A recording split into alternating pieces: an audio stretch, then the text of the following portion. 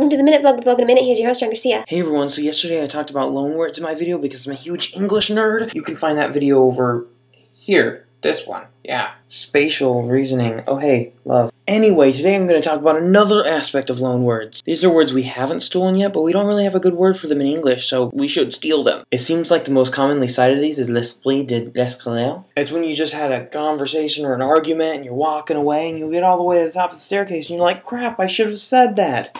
There you go. Here's one I really like, the Portuguese ficante. See, ficante is when you're like mutually in like with each other, but you're not dating, and that means you're not really exclusive or anything. You're just ficante. There's the Russian pochemuchka. What's a pochemuchka? It's a person who asks a lot of questions. Now stop being such a pochemuchka. And lastly, there's the Japanese principle of yoko meshi. It literally means a meal eaten sideways. It refers to the awkwardness you have when you're speaking another language. Kinda like how I'm mangling all these foreign words today. Yeah, this is really awkward.